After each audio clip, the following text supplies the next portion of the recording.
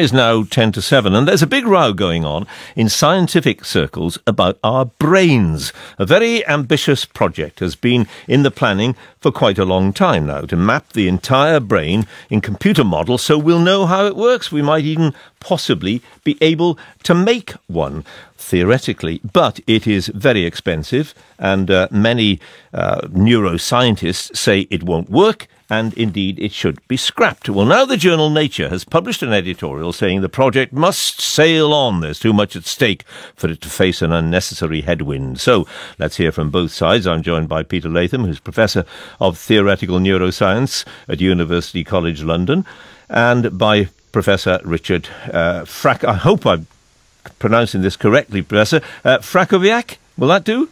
That'll do. Right, good. Co-director of the Human Brain Project. So you're a, an enthusiast, obviously, for it. Um, try and tell us in in layman's terms what you want to do. Um, you know, one of the big problems we face in society is um, diseases of the brain, particularly in aging, but also in, in kids with psychiatric disease. one of the problems we have in neuroscience is that though we understand genes and and the proteins they make and a little bit about how they form neurons, we know nothing until our psychologists start uh, providing ideas about how we speak and think and feel and so on. We don't have any notion of how the brain is constructed, either right. in terms of its function or anything else. So that's what we need in order to be able to really advance with our medicines. We need to be able to advance with how we construct computers that are based on brain. Right. And right. we above all need to know what this thing is that sits in our heads. Okay, so so is it too fanciful to say uh, you're trying to make a brain? I mean, is that very silly? John, that's very silly. okay, so what is what's the next step down from it then? Well, it's a blueprint, really. Okay. I mean, if, if you've got a, a, black box, we've got 40 years worth of information in there. 40 years worth of theories and concepts and so on. And there's been some fantastic advances. Right, but, but you need to have this big one. I take your point. Let, let me put that to uh, Peter Latham. Um, why? It sounds terribly sensible. Why are you opposed to it? So we're not exactly opposed to it. That's a little bit strong. Um, solving the brain is is. I thought you said it was a colossal waste of money. Some actually, some people may have said that. So it was an open letter Okay. Um, and none, and it didn't say it was a colossal waste of money. What it did say is that we as a community think the focus has become a little bit narrow, and we'd like a fair and open view. So and we don't actually want to scrap it. Right. That's, that's not correct. Okay, you don't want to you don't want to scrap it. Right? So so the reports that, that have been appearing recently are, are, are a bit inaccurate, aren't they? Right. You you don't want to scrap it. What do you want to do then? How what do you want to do to I don't know slow it down, narrow its um, remit, so, or what? So you actually want to widen its remit. Oh. So right now it's very focused. It's it's basically there there are many parts to it.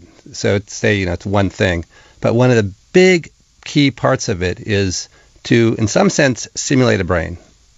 So make a computer that is is essentially a brain, and and it's a very much bottom up approach. I thought that was very silly that when I suggested that to your colleague. Yeah, but that's that's really in some sense what they want to do, right. ultimately. And so a big part of it is is very very large computer simulations. So in a nutshell, the plan is to collect a bunch of facts, put them into computer program, run it, and hope it tells you something about how the brain works.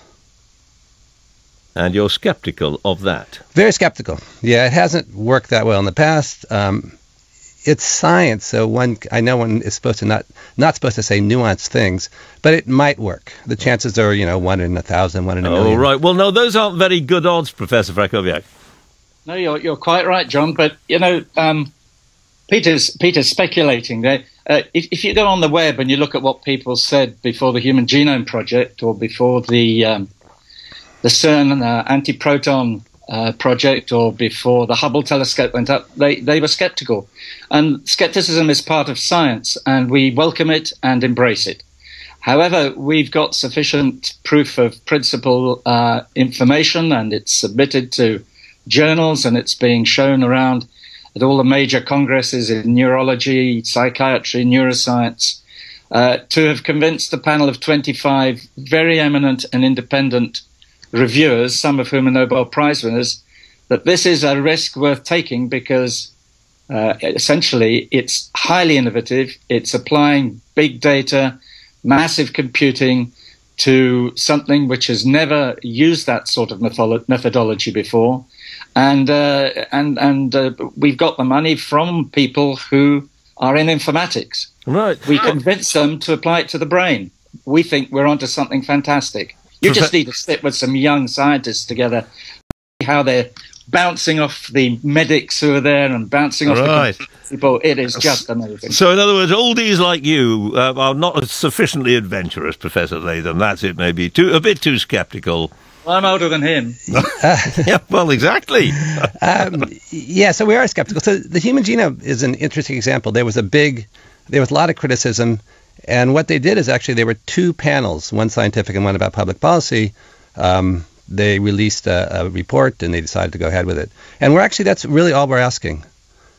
We're asking. I mean, the, it's up for review anyway. What we really want is an open review um, with scientists who and experts um, in bioinformatics who are not um, aligned with the project at all. It's really all we're asking. All right. I tell you what, just in a sentence, if you could, we're nearly out of time.